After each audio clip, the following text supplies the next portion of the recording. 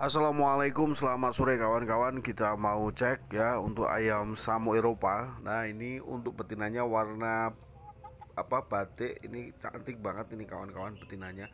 Kemudian jantannya ini warna apa baret atau kure atau jali ya. Ini warnanya juga cakep banget. Ini ayam Samo Eropa ya. Nanti kita lihat lebih detail seperti apa ayam-ayamnya ya.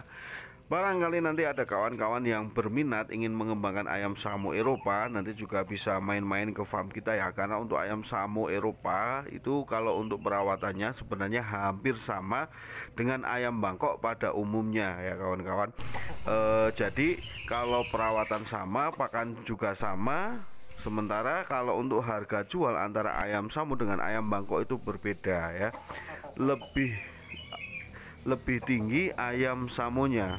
Sehingga ayam samo ini sangat bagus sekali untuk dijadikan prospek ternak karena nilai jualnya yang sangat bagus dan banyak sekali penggemarnya yang dari seluruh Indonesia. Untuk ayam samo ini banyak sekali yang menggunakan ayam samo ya. Untuk ayam di kandangnya sebagai salah satu materi ternaknya ya Nah ini ayamnya kita umbar ayamnya sehat-sehat sudah kita vaksin NDAI Nah untuk ayam Samo Eropa yang kita videokan pada kali ini adalah ini usianya 6 bulan kawan-kawan. Jadi masih sangat muda sekali ya.